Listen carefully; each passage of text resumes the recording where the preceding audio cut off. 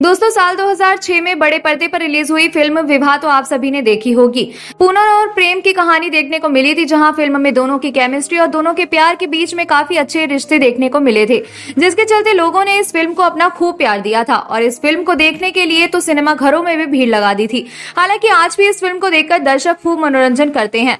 लेकिन दोस्तों, क्या आप जानते हैं की आज साल दो हज़ार तेईस में विवाह फ़िल्म में काम करके मशहूर हुए सितारे आज कहाँ है, क्या करते हैं और कैसे दिखते हैं?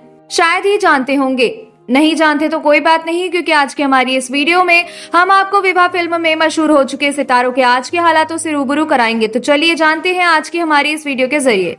नंबर आठ, समीर सोनी। फ़िल्म में सुनील के किरदार को निभाने वाले अभिनेता समीर सोनी ने आज अपनी चौवन साल की उम्र कंप्लीट कर ली है, जहाँ फ़िल्म में इन्हें सिंपल शर्ट, पैंट कैरी करते हुए काफ़ी डैशिंग अंदाज में देखा गया था। तो वहीं आज भी ये टी शर्ट शर्ट जैसे ड्रेस को कैरी करके काफ़ी हैंडसम नज़र आते हैं। इसी के साथ बता दें, इन्हें आखिरी बार साल 2022 में निकम्मा फ़िल्म में देखा गया और फ़िलहाल ये अपनी पत्नी नीलम कोठारी और अपने बच्चों के साथ मुंबई में खुशहाल ज़िंदगी जी रहे हैं। नंबर सात, मोहनीश बहल।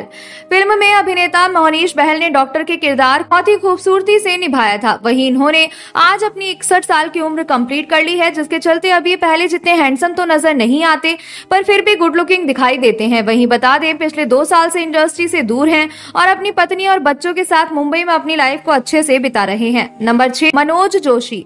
विवाह फ़िल्म में अभिनेता मनोज जोशी ने भगत के किरदार को काफ़ी खूबसूरती से पर्दे पर उतारा था। जहाँ इन्हें फ़िल्म में कुर्ते पजामे और शर्ट और पैंट में देखा गया तो वहीं अब सतावन साल की उम्र में जीन्स टी शर्ट और ब्लेजर को कैरी करते हुए ये नज़र आते हैं। पर बता दें, इन्होंने अभी भी अपने एक्टिंग करियर को बरकरार रखा हुआ है और फ़िलहाल ये अपनी पत्नी चारू जोशी और अपने बच्चों के साथ खुशहाल ज़िंदगी जी रहे हैं।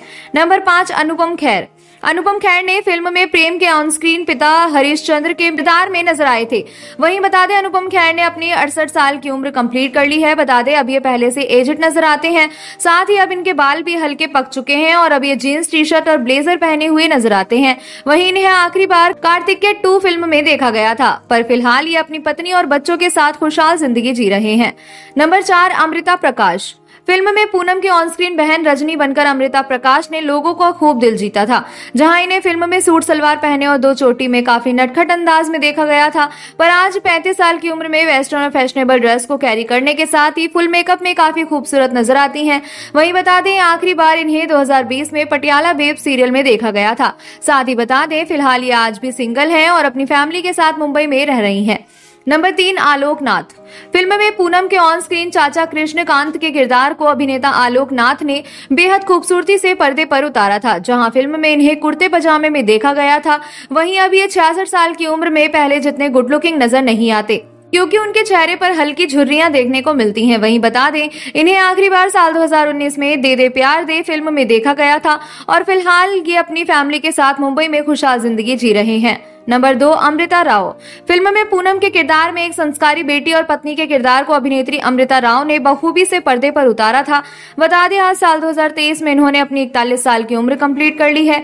बता दें, इन्हें वेस्टर्न और ट्रेडिशनल ड्रेस में देखा जाता है, पर फिर भी खूबसूरत नज़र आती है। साथ ही बता दें, आज ये फ़िल्मों से दूर अपनी फैमिली के साथ अपनी शादीशुदा ज़िंदगी को अच्छे से बिता रही है। नंबर एक शाहिद कपूर। फ़िल्म में अभिनेता शाहिद कपूर ने प्रेम के किरदार को काफ़ी शिद्दत से पर्दे पर उतारा था। बता दें, इन्होंने आज अपनी छियालीस साल की उम्र में भी ये पहले जैसे ही हैंडसम और डैशिंग नज़र आते हैं।